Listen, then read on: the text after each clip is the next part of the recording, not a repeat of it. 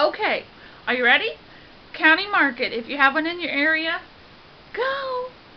Run as fast as you can.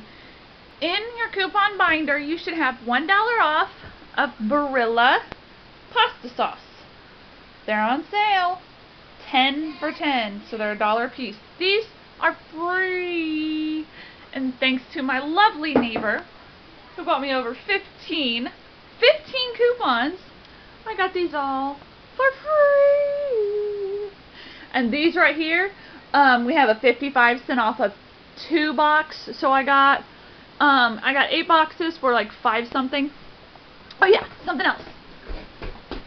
It's the county market right here. Miracle Whip is on sale for $1.99. On top of it, there is a dollar off Peelie, making it 99 cents for a full can of Miracle Whip. I only got two though. And then red gold tomato ketchup, again at the county market, on sale 10 for 10, but when you buy 10 of these, you get six you get four dollars off. So you buy 10 ketchups for six bucks. And this is my stockpile of my food items, not very much. Um, kind of sort of new at couponing.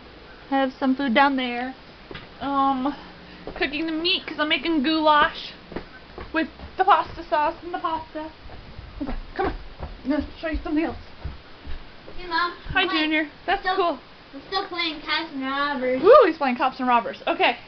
Here's my toilet paper pink, pink, pink. and my paper towel stockpile, which, by the way, I need a paper towel because I'm out. So, for a family of seven, that's not too shabby. I have a little bit in here in Adam's room. I'm trying to take all the food items out because I hate the fact that Adam's got stuff. But whatever. Okay, so I'm just rambling.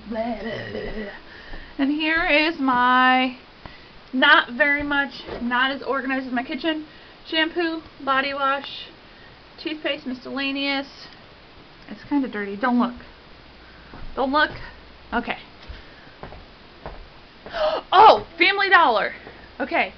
Text word deals D E A L S to 28767. Every day you get a brand new coupon code which you can use with a manufacturer's coupon. And the other day I totally got um all detergent. I got the all detergent for 25 cents because I used a coupon code and then I used which took $2.50 off and then I used a um 75 cent off manufacturer's coupon and I got it for 25 cents. And I only I only had two of those, so I used two. I want to know how you guys are getting so many coupons. Like my neighbor will not tell me. Apparently she's got a stash. Like somebody will give her boxes of coupon inserts. How do you guys get them? She doesn't buy newspapers anymore. I still have to buy newspapers. I'm the one who taught her to do it. I wish I knew. Do you guys know? Can you give me some advice on how to do it? Okay, I'm steaming you up from the stove. I gotta go. Bye.